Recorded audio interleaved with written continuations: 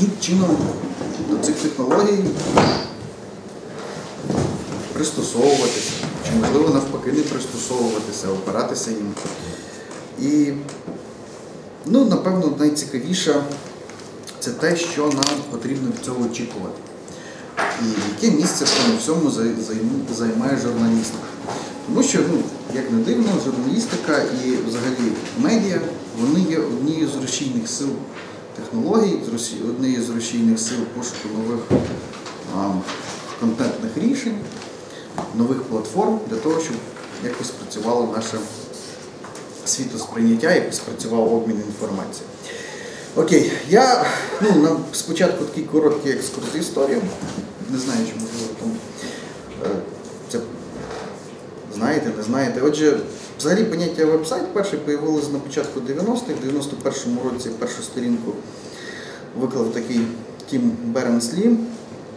Е, Перша, е, перша HTML-сторінка собою являла набір кількох документів, які були пов'язані між собою посиланнями, те, що ми сьогодні називаємо лінками. Е, Тут помилочка є, я трохи спішив. У 91-му році вийшла перша версія мови, мови HTML, це мова, за якою формується, яка ну, здатна для того, щоб формувати веб-сторінки, мова, яка дозволяє нам бачити веб-сайти і сприймати їх е, браузером їх сприймати.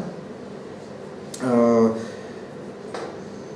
Це був такий перший, е, перший момент розвитку, це просто поява ВВВ, World Wide Web.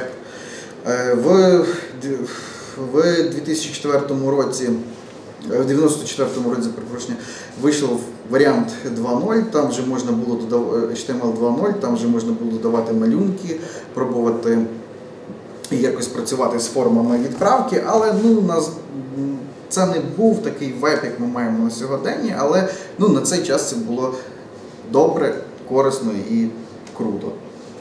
А, вс- Всередині 90-х а, веб-дизайн почав розвиватися в напрямку табличної верстки. Тобто, як відбувався, як взагалі, як відбувалося, як відбувалося пристосування, скажімо, там малюнків для того, щоб вони відображалися.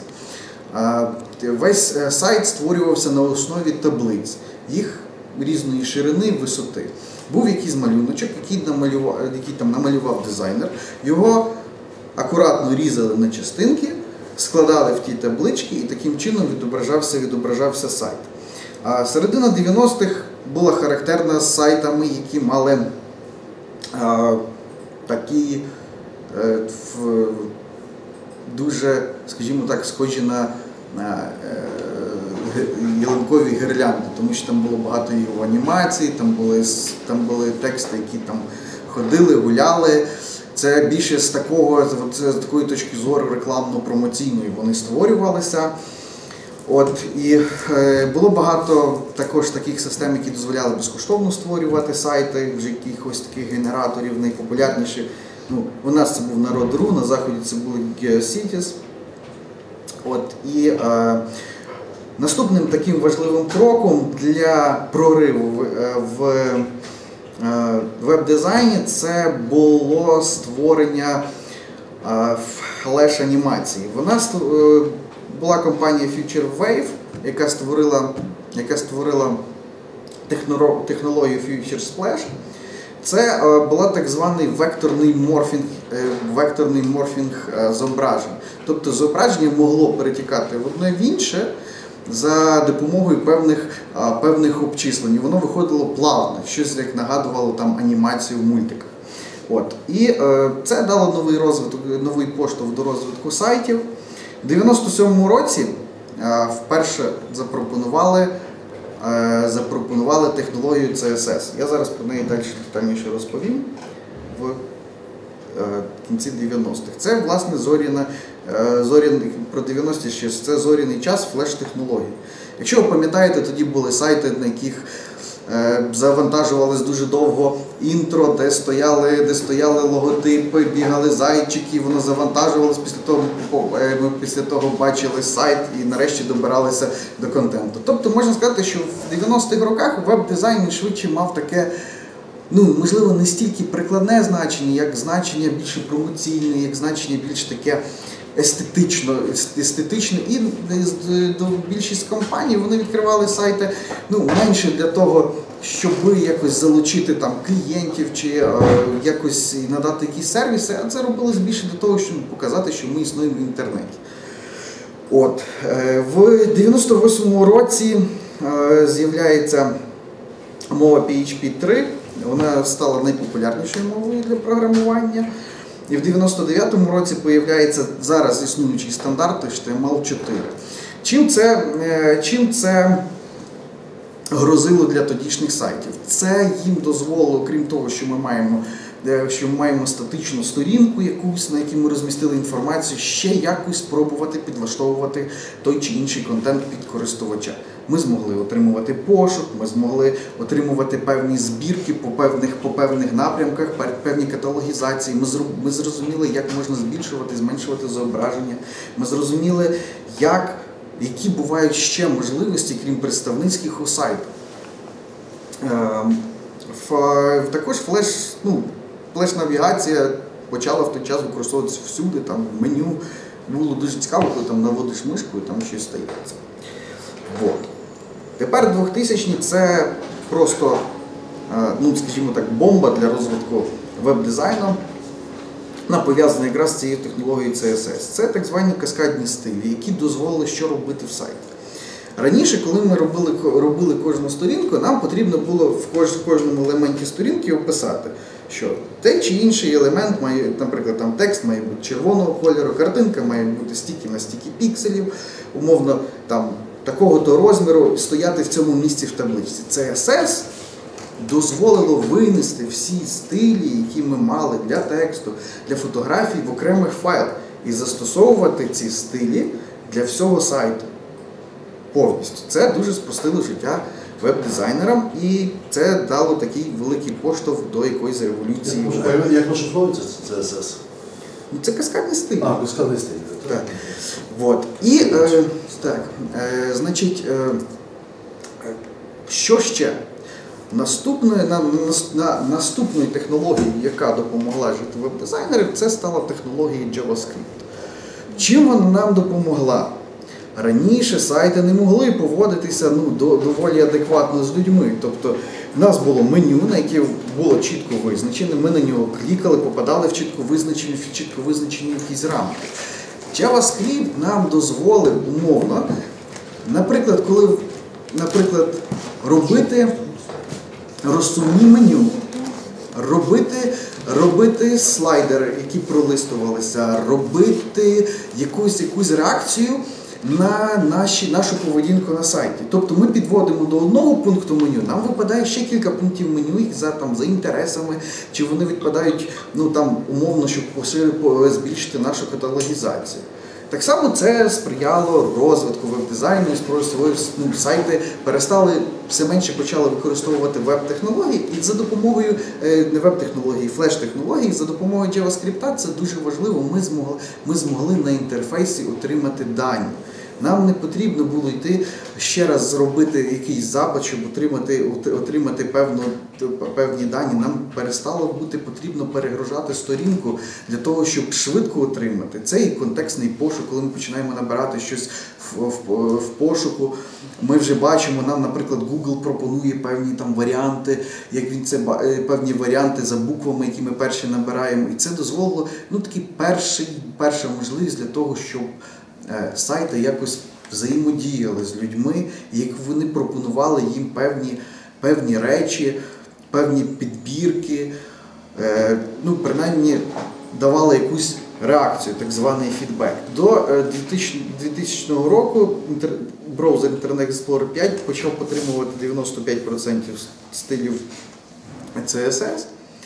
Он, ну, Але він пізніше Е, пізніше сталося так, що Internet Explorer в своєму розвитку разом з компанією Microsoft трошки почав е, не наздоганяти браузери, які пішли е, набагато вперед.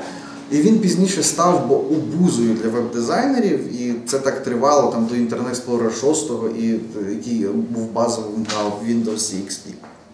Отже, е, про JavaScript. І в 2005 році Flash, технологія Flash, е, крім того, що вона нам навчила робити мувіки, вона навчила навчилась працювати з demand і стрім відео. Ми отримали флешплеєри, ми отримали YouTube, ми отримали можливість завантаження, можливість програвання відео прямо на сайті без його завантаження. Також появляються, це був час ще зародком різних, ну ще це не були соціальні мережі, але вже зародком якихось блогів, щоденників, які вже щось показували нам, що світ може е, ну, працювали якось з користувачем, показували нам, що світ якось може в нас, крім переглядати сайти, ще якось спілкуватись між собою. Ну, можу якісь питання задавати чи ні? Тобто стрім е, відео воно пов'язано з якою технологією? З, з JavaScript воно пов'язано? Ні, воно пов'язано з флешем. Мгм. Тобто флеш нам дав плей, нам дав можливість витягувати якось дані і їх програвати. От. Значить, тепер великим таким витком в розвитку, великим таким витком в розвитку, яке вже нас підсунуло до, до, до, оць, до цієї революції, яка зараз відбувається із сайтами, це був е, це, це кінець 2000 2000 року, 2000-х років, так званий період Web 2.0. Ну, чим він характеризувався, я там багато розповідати не буду. Всі ми знаємо, тому що ми зараз живемо в період Web 2.0, якраз наближаємося до його зміни. Це соціальні мережі, RSS, велика активність, велика активність користувачів інтернету. Інтернет став засобом першим засобом комунікації. Е, В дизайні це ну, була, був такий, якщо пам'ятаєте, період мокрої підлоги. Це коли в нас всі елементи на сайті були блистячими і вони відбивалися, відбивалися, е, ну, відбивалися там, скажімо, умовно від якоїсь там площини від умови підлоги. Це був такий дизайн-тренд. Вот. Тут стала ще одна річ дуже важлива. Це те, що е, веб він більше не є пов'язаний зі сайтом. З'являються веб-сервіси. Нам не потрібно програмувати десктопні речі для того, щоб мати, щоб мати якісь для нас сервіси. Це в першу чергу, ну там умовно приклад, це Google Docs. Ми перенесли Word в інтернет. Це також все веб-сервіси. Ну, це веб стає більше не сайтами. Тут багато з розвитком XML, наприклад, це є можливість отримувати, задавати якісь параметри, і отримувати, витягувати якісь речі стосовно там прогнозу погоди, е, торгів на біржах, і це робити досить швидко, заміняючи технології, які працювали тільки на десктопі, коли ми запускали її з комп'ютера. Ще JavaScript в своєму сво- е, JavaScript, е, JavaScript в цей час розвинувся до того, що ввів ще одну технологію, так звану Ajax, яка дозволяла, яка дозволяє працювати з контентом без перезагрузки сторінок. Тобто вона не робить ще раз не робить ще раз повторний запит і не робить ще раз вибірку, щоб нам показати певну якусь інформацію. Ну, це така піонер технологія, яка ну, дала там серйозний поштовх для такої революції, таких революційних відношень до сайтів. От. Е, те, що я сказав, що веб-дизайн більше не сконцентровується на оформленні контенту, а не на продажі товарів, як було в 90-х роках. Ми вже не продаємо якийсь там свій бренд та вже намагаємося давати послуги. Отже, ну, це ми якраз живемо в цей вік, коли в нас без комп'ютерів, без інтернету в нас ніде не обійтись. Але що треба, далі? Треба було дати планшети. Там. Ну ще ні, ще ми дійдемо до планшетів. Отже, але що далі? Далі кудись повинен розвиватися цей е, далі веб кудись повинен розвиватися. Розвиваються в першу чергу комерційні платформи. Люди зрозуміли, що в інтернеті можна заробляти. То вони хочуть зробити нові хочуть робити нові стартапи. Вони хочуть робити нові можливості заробляти в інтернеті. Людина хоче менше працювати, більше заробляти. Інтернет це чудова для цього можливість. Мультимедіа платформи, в нас з'являються онлайн-відео. Flash вже не е, Flash вже не може забезпечити. Я пізніше розкажу чому. Потрібен якийсь пошук для digital медіа. Вмирають газети, тому що люди переходять в інтернет, але веб-сайти не можуть людям дати всього, що вони вимагають від що вони вимагають від контенту. Людям не, не вистачає дивитись тексти разом з фотографіями. Вони хочуть інтерактиву, люди хочуть, щоб якось вони могли умовно ту ж саму газету там взяти і відкрити на ну, там, відкрити якось по-іншому, якось в digital варіанті. Це здає великий поштовх до роботи конструкторів.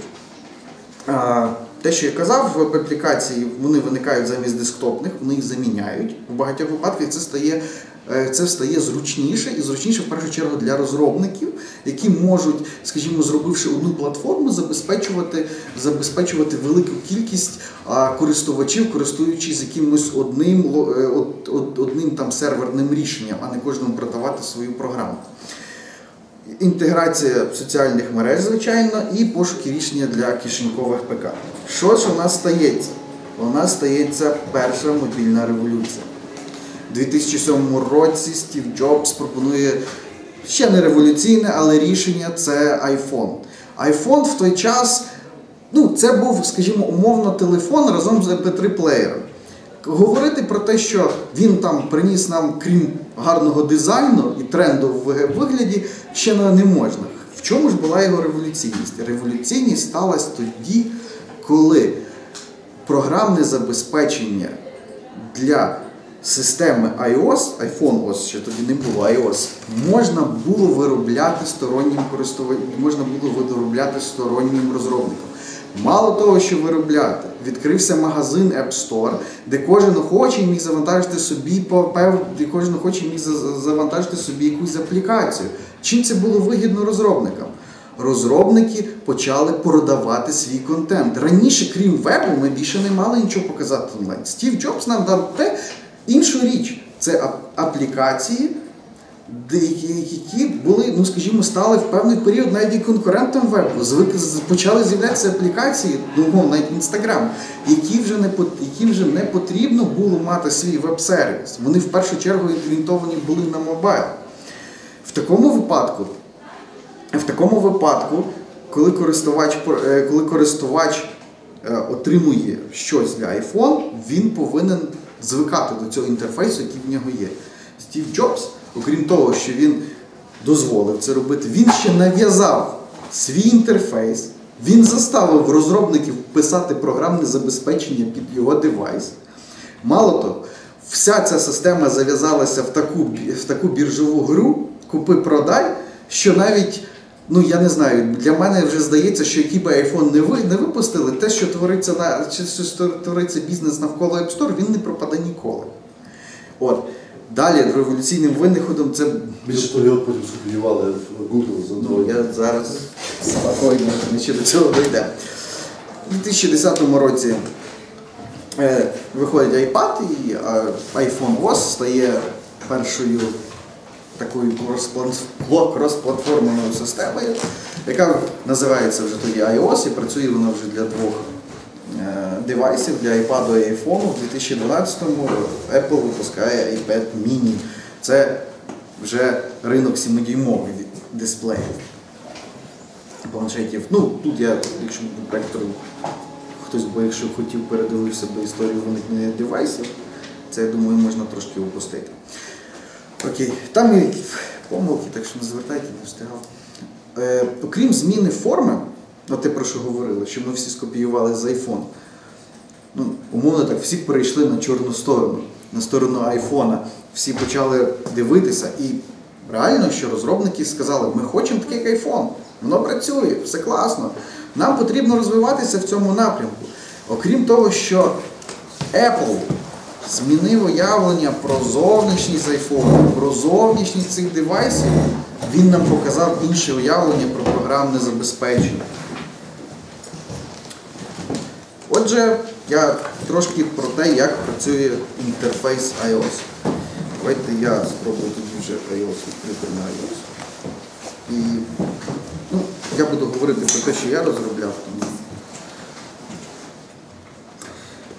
Зараз про особливості інтерфейсу.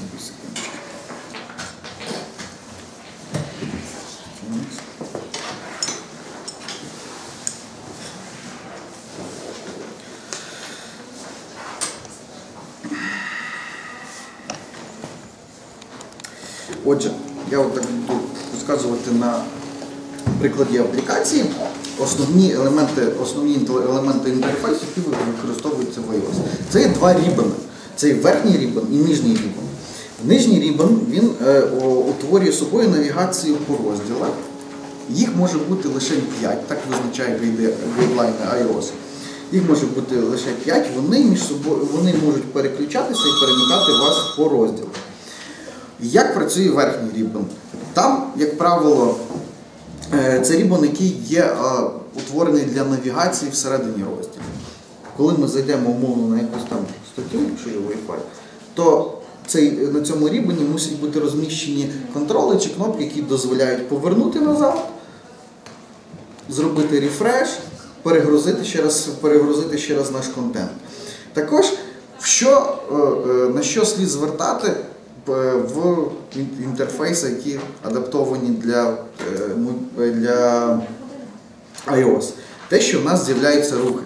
У нас з'являється рух свайп вниз і свайп вгору. Для того стрічки новин використовують свайп вниз, для того, щоб відповідно отримувати поновлення, і свайп вгору для того, щоб завантажувати попередні, попередні матеріали. Далі.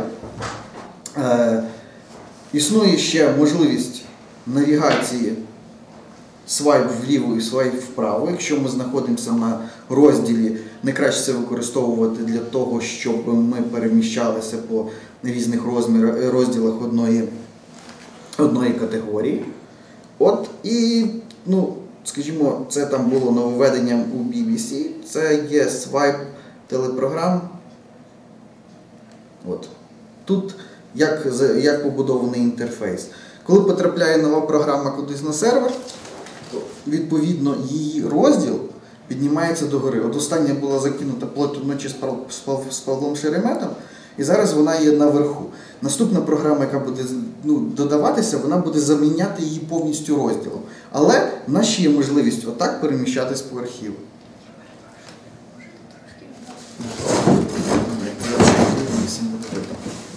От. Це е, я так коротко, дуже коротко про ознайомлення з інтерфейсом iOS і для чого він так був побудований. Тут я зібрав приклади, там, як це працює на українській правді, як це працює на BBC, як це працює на CNN, як це працює на New York Times. Плюс ще є ну, можливість для шарінгу. Коли ми шаримо відповідно в соціальній мережі, програма дивиться, які, які, в яких ти соціальні мережі в тебе встановлені на твоєму пристрої і пропонує туди зашарити наш контент. Е, щодо самого дизайну iOS, то в першу чергу для цієї мобільної системи був е, застосований принцип скевоморфізму. Далі про нього розповім. І це е, в дизайні це було таке уважне промальовування до піксельних деталей. Тому що компанія Apple настільки була сувора в певний час в своїх гайдах, що вона, ну, умовно, затвердження аплікації, куди написав все, як їм потрібно, ти для того їм платиш гроші, 99 доларів тільки аккаунт для того, щоб туди, туди запостити цю програму. Два тижні Apple розглядає, дивиться, чи це все відповідь, чи ця програма гарна і функціональна для того, щоб її продавати в себе в App Store. От. Е, також ще є проблема. Проблема ця була пов'язана з тим, що всі почали гнатися за вдосконаленням дисплеїв, в тому числі і, і компанія Apple. І в iPhone 4 вирішили вмонтувати Retina дисплей. Чим для нас був страшний Retina дисплей, особливо для дизайнерів, тим, що Retina дисплей давав зображення вдвічі більше. Для того кожне зображення, відповідно, яке ми мали до того, поки не вийшов iPhone 4, треба було робити вдвічі більше, тому що, тому що збільшувалася роздільна здатність екрану, і, сам, і саме зображення, воно ну, таке як неякісно надруковане виходило.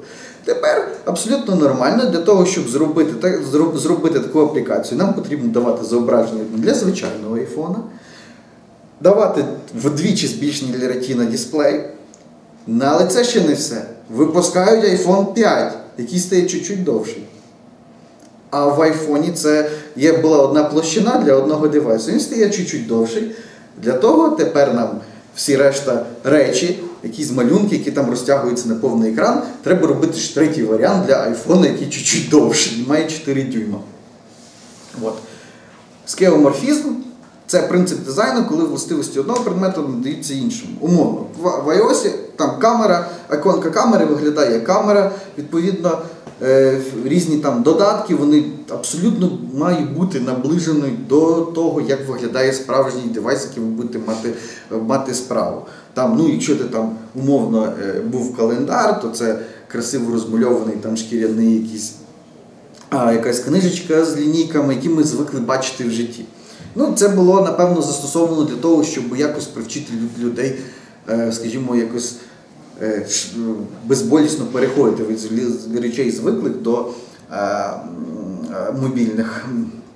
От, але, на жаль, ця ситуація вже просто так перебігла свій рубіж. Скеоморфізм він став просто всюди. І він став настільки набридати, що Джонні Айв, який е, ну, розробляв зовнішній вигляд всіх е, Apple девайсів, він вирішив поміняти iOS. І він нам обіцяв, що iOS на наступне покоління iOS вже не буде мати скеоморфізму, а буде мати приємний, рівний, гладкий інтерфейс. Трошки щось будемо міняти. Ну і щоб там предметно, що таке скеоморфізм, це приблизно, ну уявіть собі іконки. Вони всі фактично відображають предмети, пред- предмети до, яких вони, до яких вони належать. По іконці людина мала определяти, що робить ця чи інша, програма. От. Це стосовно iOS. Але прогрес не стоїть на місці. Люди хочуть мати теж свій iPhone, люди хочуть теж так заробляти, продавати. Нас є багато виробників мобільних телефонів. Ну і компанія Google у 2009 році запускає свій перший реліз Android. Це була такий трошки удар для компанії Apple. Це була альтернативна операційна система для мобільних пристроїв, яка базувалась на відкритому коді. Не треба було мати окрему програмну оболонку. Всі додатки були написані на мові Java. Відповідно, починає пропонувати все те саме, що Apple. Спочатку це був Android Market, потім став Google Play. Пізніше, за прикладом App Store і iTunes, вони об'єднують е, контент разом з разом з аплікаціями, ну, відповідно, там, ну, фільм, музика і аплікація, об'єднують Google Play. Е, Плюс те, що вони випустили власне швидший апдейт свого дизайну. І вже Android 4.1 і 4.2 BG Bean, він запрацював на цілком новому інтерфейсі. От. Що ще важливого було в Android? Android дав мобіль всім е, мобільним виробникам те, що вони найбільше хотіли. Вони хотіли бути всі айфонами, їм дали безкоштовну мобільну систему, а подумали, що ж, тепер ми всі однакові. І тут Android це вирішив. Він дозволив адаптувати свою систему для кожного з мобільних пристроїв. Якщо там подивитися на Samsung і ще ж це Sony, вони всі на Android, але виглядають абсолютно по-різному. Принаймні, ну, або складають таке враження. Хоча логіка всієї системи складається однаково, і ми всі ходимо в Google Play купляти самі додатки. Це спасло виробників, звичайно, і дозволило їм якось протистояти айфонам. От.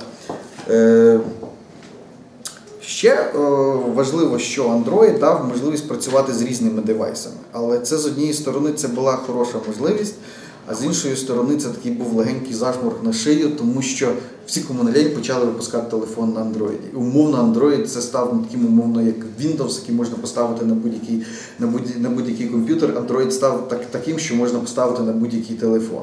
Це трошки. Е, Ну, це, звичайно, дозволило вивести дешеві смартфони на ринок, але це трошки ускладнило всім життя, тому що ну, вийшла така сила селена девайсів, така сила селена різних розширень екрану і різноманітних є телефони з камерою, без камери 5-8 мегапікселів, що ну, треба було з тим щось зробити. Сам Android же в певний час заплутав, доплутався, як йому показувати гайдлайни для інтерфейсів. Їх він їх правда поділив на 4 групи. Тепер, якщо в, iPhone чи для iOS треба малювати два розміри, то для iPhone треба для Android треба малювати чотири розміри. От. Що було революційного в інтерфейсі, в новому інтерфейсі Android? Те, що, по-перше, контроли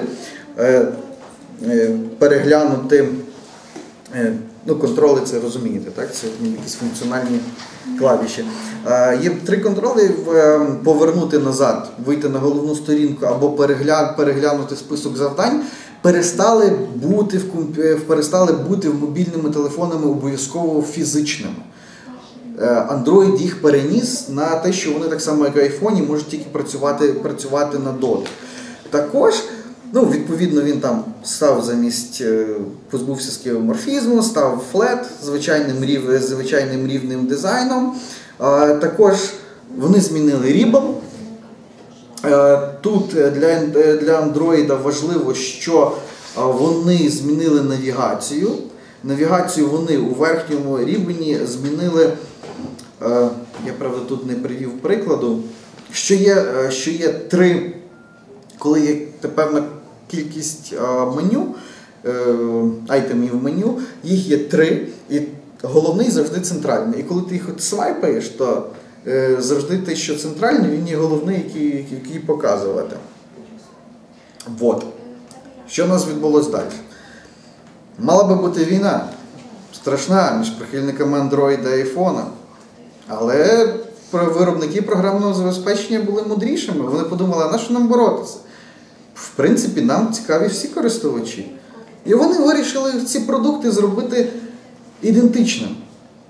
Щоб, щоб користувач Android зразу впізнавав свій інтерфейс, так само, як користувач iOS.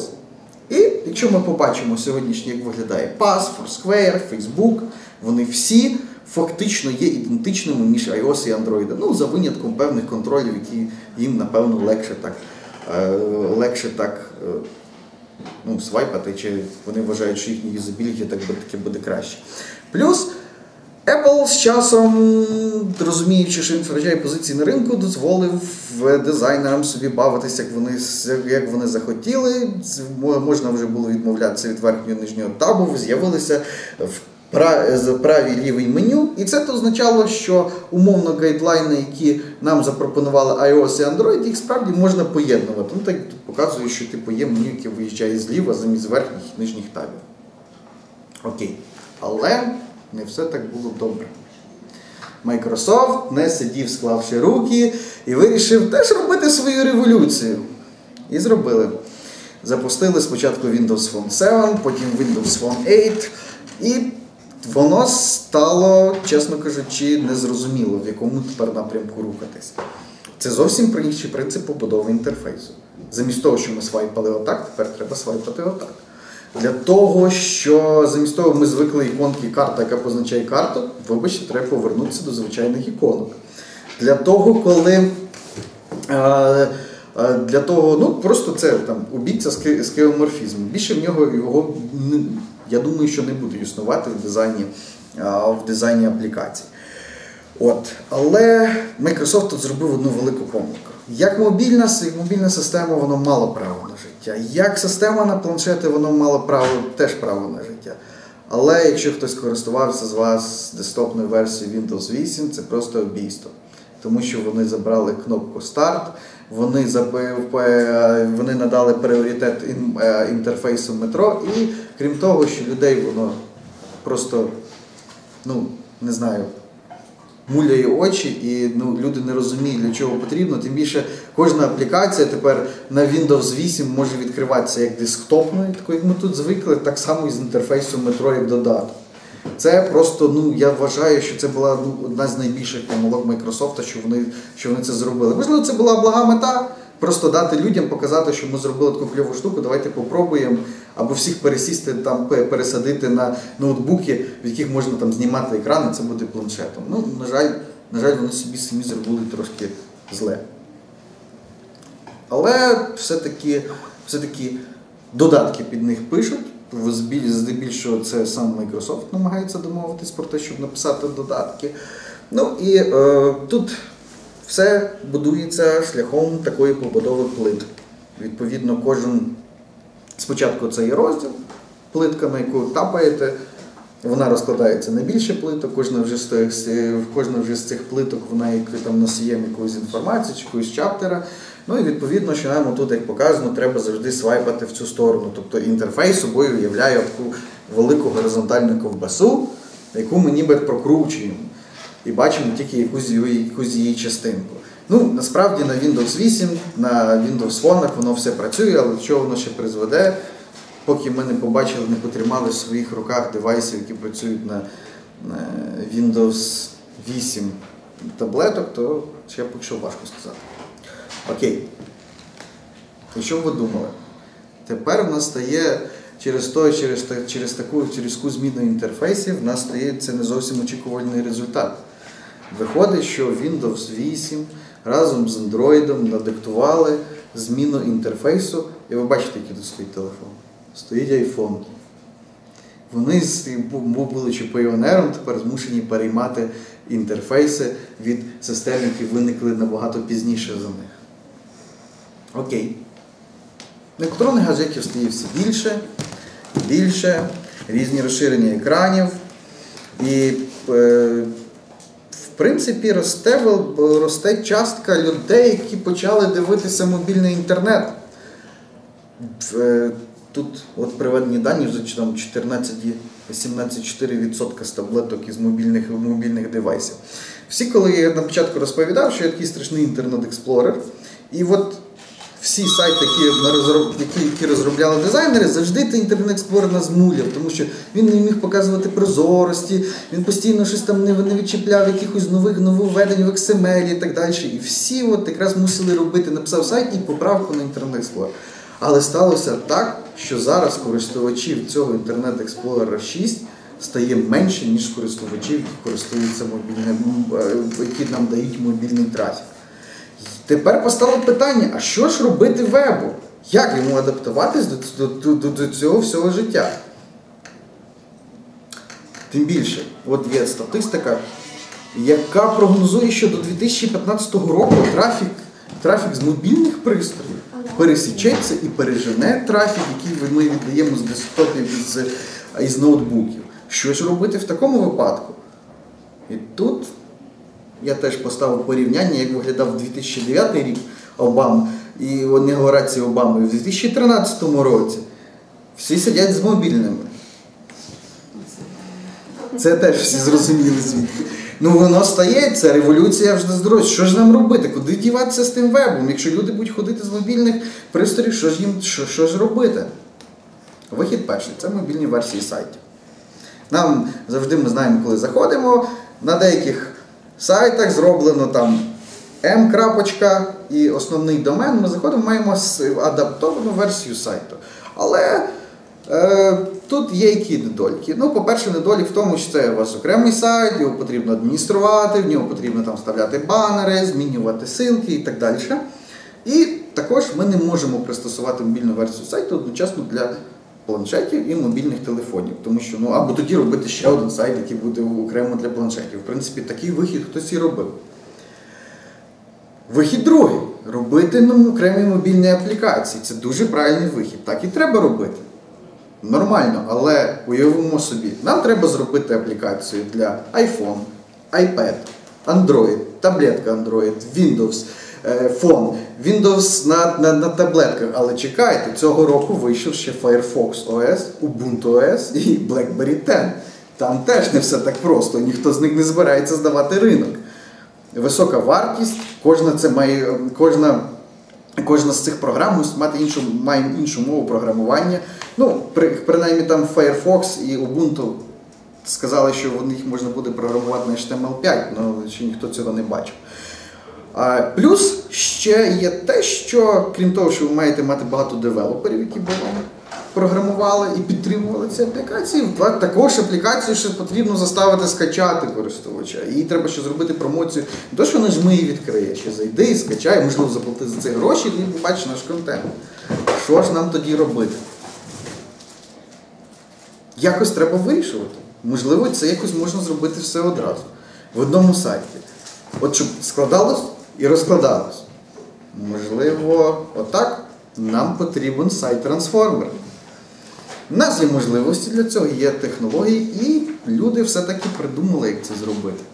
Появляється в нас таке поняття, як адаптивний дизайн. Це фактично є один сайт на одному домені, який адаптовується під те, як ви йому покажете і скажете, з якого девайсу ви прийшли. Я зараз спробую вам показати якийсь приклад. Наприклад, Зараз подивимося з інтернетом.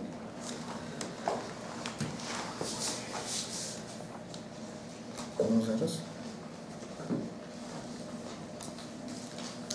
От. Це, наприклад, сайт компанії Alex. От, у нас є сайт. Ми його перевернули, він нам розклався в інший варіант. Був би мобільний телефон, ми б його склали, він ще б склався далі. Е, ну, просто тут не знаю, це показати зараз.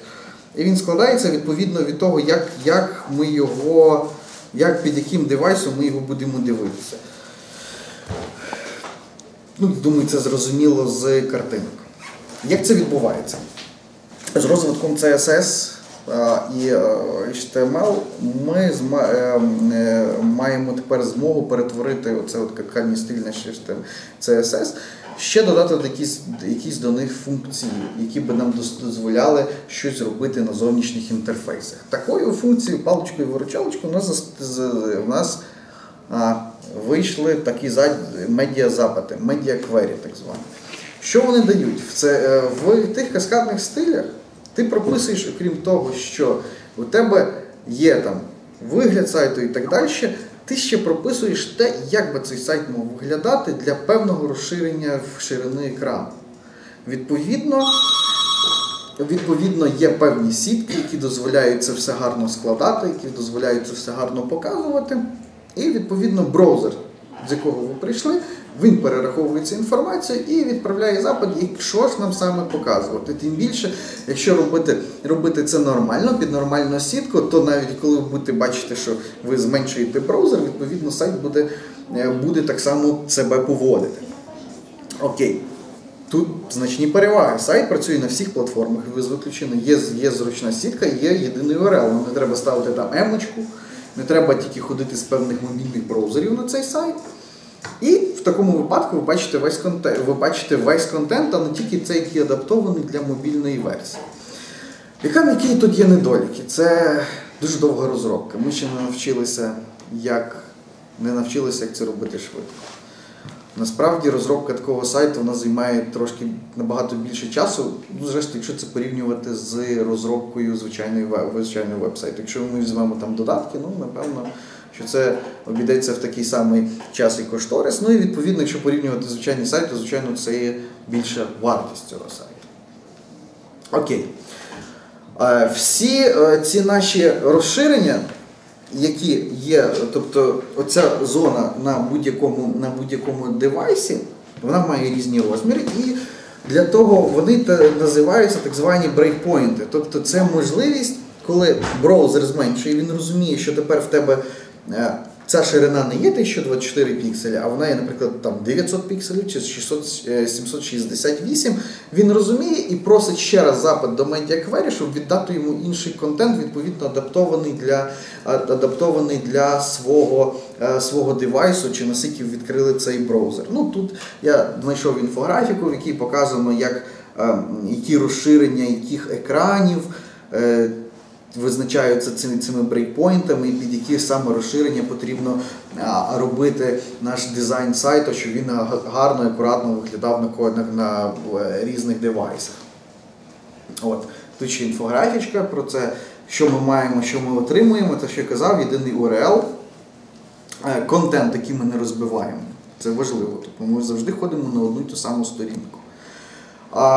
Це от єдиний код, який тільки показується завдяки цим медіаквері в різних виконаннях, скажімо, зовнішньої оболонки, в- різному виконанні дизайну. Тим більше а, цей, ці запити медіаквері ще й дозволяють працювати з зображеннями з відео. Вони так само їх можуть зжимати і розжимати відповідно до того, з яко- яка є ширина, ширина браузера, ширина нашого екрану. А першим таким піонером, який це зробив, був ну, є зараз сайт Forbes.ua в Росії. Це спробували зробити РІА Новості.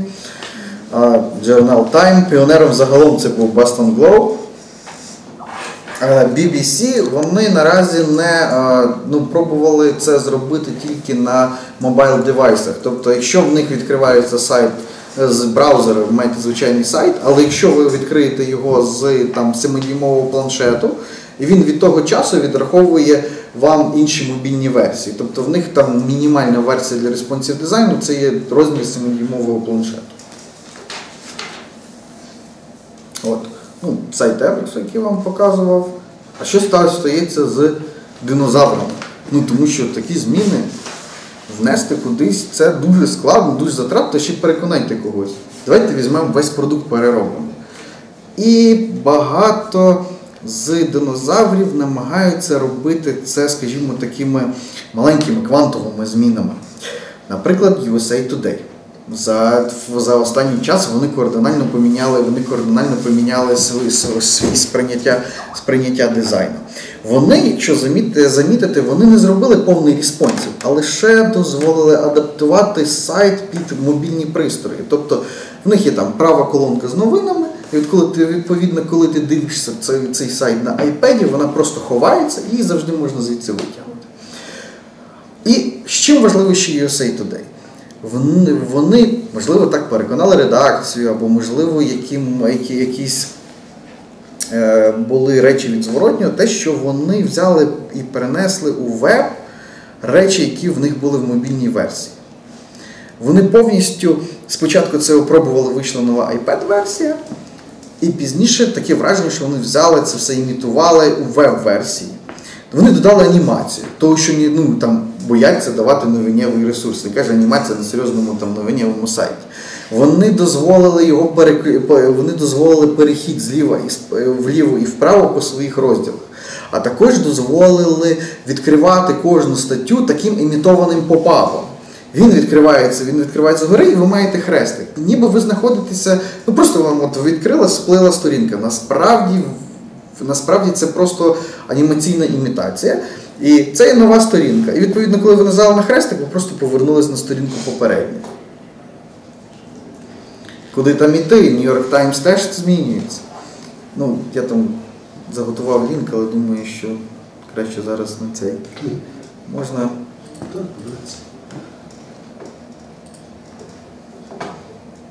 Можливо, хтось дивився? Ну, Нью-Йорк нас не любить. Ну, але на новий. Тут просто навіть там без. От. Вони змінили, міняють, показують читачам, як вони зміняться. Як вони. Я ще не знаю, як це буде виглядати в реалі, але виглядає так, що теж вони намагаються винести. Е, Скажімо, от меню вони взяли з мобайл, теж винесли, що коли клікаєш, виїжджаєш. Демонстрація. Так, це демонстрація. Ну там я не залишив. Е, Вони ви- ви- винесли так само, як в мобільній версії. Згадайте, все, що ми бачили в мобільних, лайки окремо, шарінги окремо, ще якась навігація, от меню сховане десь так само окремо, які, які пошук буде виходити так само, як в мобільних пристроїв. Тобто, що намагаються зробити газети? В великому рахунку справді газети. Вони намагаються вони намагаються повернути те, до чого вони людей привчили на умовно на айпадах і інших там тач-пристроях, вони намагаються це перетягнути в веб. Тому що і таким чином там відновити, ну скажімо, якісь там онлайн сприйняття цього як газети, тільки у веб. От тут далі. Тут цікаво взаємодія йде різних стилів. Тобто, скажімо, якщо колись газети почали імітувати веб на своїй своїй паперовій газети, то так само ми бачимо взаємодію Так, от ви- мобільних, скажімо, стилів і, і, і вебівських. Спочатку йшло все туди, а тепер вертається назад. Ми йшли від скеоморфізму, скеоморфізму, бачили, як воно там відбувається. Перед... Спочатку от ті речі, які ми користуємося вжитку, передавали туди, а тепер навпаки звітом передаємо оцей вжиток, який ми користуємося, там звикли користуватися, наприклад, у веб. От бачите, от секції так само, як ми бачили на мобільних пристроях. Це меню, про яке я говорив, яке є там у Фейсбука і так далі, у них тепер це буде на веб. Ну, думаю, кому буде цікаво, там собі роздивиться. Тобто вони готові до змін. Мало того, знаєте, хто готовий до змін? Скоро вийде ZIG 3.0, він буде респонсів. І ми вже побачимо, я взагалі люблю експериментувати.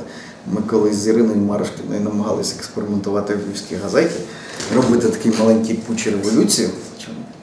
Трошки нам навіть щось вдалося, а тепер я вирішив поекспериментувати з Зіком і подивитися, що ж він, як, як тут люди сприймуть респонсів дизайн як ми подивимося, як буде виглядати перший західноукраїнський респонсів дизайн після Forbes. І останнє, що я хотів сказати, що не все втрачено для друкованих ЗМІ.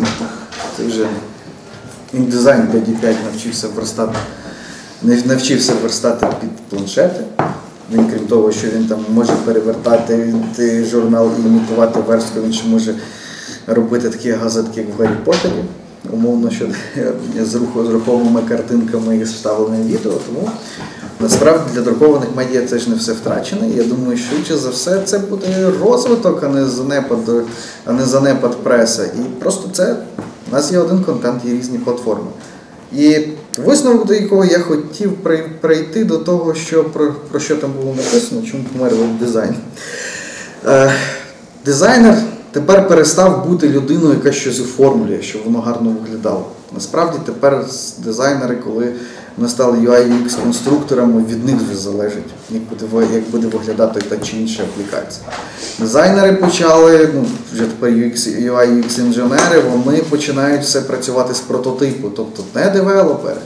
А дизайнер в першу, в першу чергу розробляє сітку, розробляє те, як себе буде поводити інтерфейс, інтерфейс, як, як це буде зручно користувачеві. Дизайнер тепер мусить не тільки подумати, чи гарний буде метелик, а він мусить подумати, звідки він вилетить, як треба свайкнути, куди треба, на, коли треба, нажа, куди треба нажати і що зробити.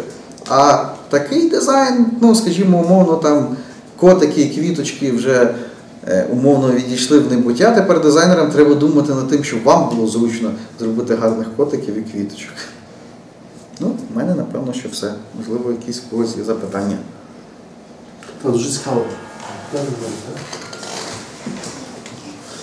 Мені не зовсім зрозуміло, чи якщо можна було лише пояснити, як здійснюється зв'язок адаптивного сайту з девайсами. Е, Дивіться, я зараз ще раз поясню. Значить, е, е, в, е, в стилі CSS, якщо ми раніше прописували для кожного елементу, ну умовно, що та чи інша, та чи, той чи інший заголовок, чи ще щось, він має, має мати там бути червоним і так далі. Тепер в нас ще додався запит Query. Тобто він нам дає вибрати от такі стилі, показувати для такого розширення екрану. Розумієте? І, тобто дода, до- до- додалося ще функції CSS. Відповідно, коли ми відкриваємо сайт на певному певному девайсі, браузер перераховує, перераховує і каже, покажи мені контент тільки от для такого розміру. Адаптуй мені контент для нього. І відповідно, і це все робиться на інтерфейсі. Тобто, тобто це не йде через базу даних, ніхто це не програмує. Це от, власне, тепер та, UX-інженери цим займаються, роблять. Це, це, Чи всі браузери е, е, однаково це роблять чи ні? Сигнал. всі, е, всі, всі браузери, е, ну, останнім, хто залишався, був Internet Explorer, але 10-й Internet Explorer повністю підтримує HTML5, тому я думаю, все. З тим більше проблем не буде. Microsoft нас догнав. Тому. А ще одне питання стосується того, чи, чим відрізняється е, TVI від конкурентів. Те, що ми бачили е, мобільні версії TVI, чим вони відрізняються від конкурентів. Напевно, нічим, вони зроблені по гайдах. Це не є, це, ну, тобто наш шукати ро- ровер.